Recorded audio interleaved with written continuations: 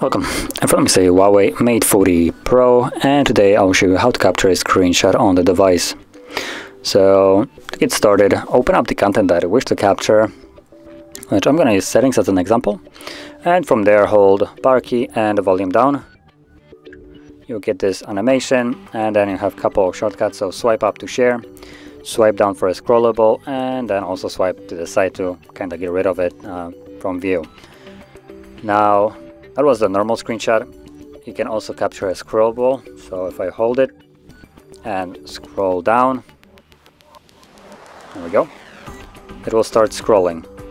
Now, unfortunately, the way here uh, this works is it automatically starts scrolling and when you tap on it, it will stop and automatically basically uh, finish up the screenshot. You cannot stop it and scroll down however far down you want. So uh, if you're planning to make a scrollable screenshot, I advise you to go over what you want to capture and from there just kind of crop it down to size and from there just simply save it.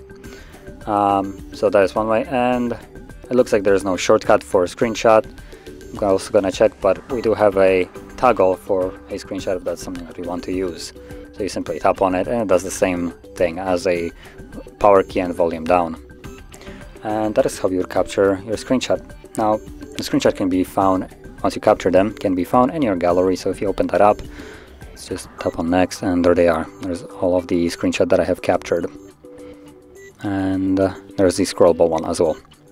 So that is how you would capture screenshots. And if you found this very helpful don't forget to hit like subscribe and thanks for watching